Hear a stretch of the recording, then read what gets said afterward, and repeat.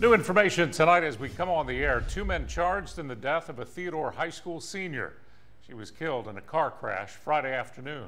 NBC 15's Rachel Wilkerson joins us now. Rachel, it has been an emotional weekend for this family. It has, Andrea. What was supposed to be a week of celebration turned into tragedy for 18-year-old Devney Rooney's family.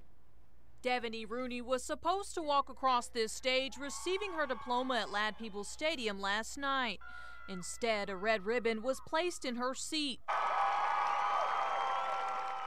And her sister accepted the diploma as a rainbow hovered above the ceremony.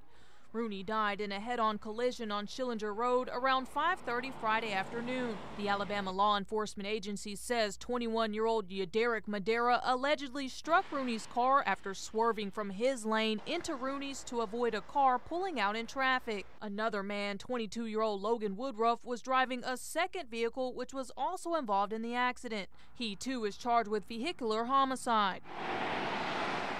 Jail records show both suspects live near the scene. Police say Madera was in possession of marijuana.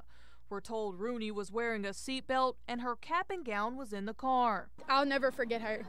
She was literally one of my closest friends. Friends say Rooney was taken too soon. Many honored her life Saturday, releasing balloons and sharing memories. She just, you know, greets everybody when she was around and just happy to be around and, and always talk to you and always in a good mood, and she was just a great child. Rooney had planned to attend Mississippi College in the fall. She was going to go on a full ride and wouldn't have to pay any money, so that was that was a big accomplishment for her. The family describes Rooney as inspiring, ambitious, and caring person everyone loved deeply and will be greatly missed.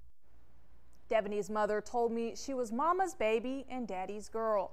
They did not have life insurance for her, and there is a GoFundMe page if you would like to help out. Greg?